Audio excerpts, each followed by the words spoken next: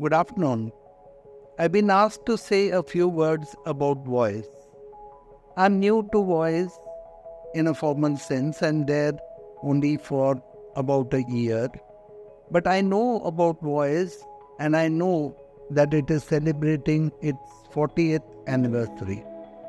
It is remarkable because it reminds me of a concept in literature. The concept is called classical unity. In literature, classical unity refers to the coincidence of time, space, and action. In a similar way, if we consider voice with respect to the consumer movement in India, there is such a coincidence that uh, the movement itself is almost as old as voice. Voice has lent a lot to the development of the consumer movement.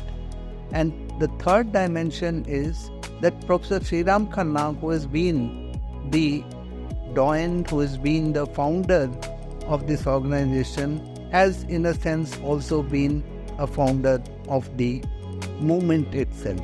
So this is classical, this is a classical unity of sorts. Having said that, as far as my contribution to voice is concerned, uh, I have tried to lend a new perspective to voice in terms of sustainability. Sustainability could be seen in three ways environmental sustainability, financial sustainability, and business sustainability. And I think this uh, perspective, which has been adopted now by voice, has helped it to get on to a different trajectory.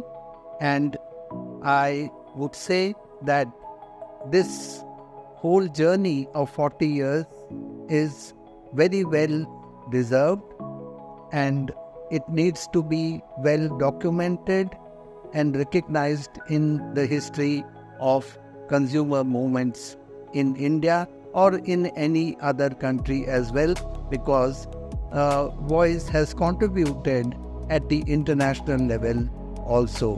All the best to Voice as an organization and my respects to Professor Sriram Khanna who has led this body and has created a wonderful institution and all the best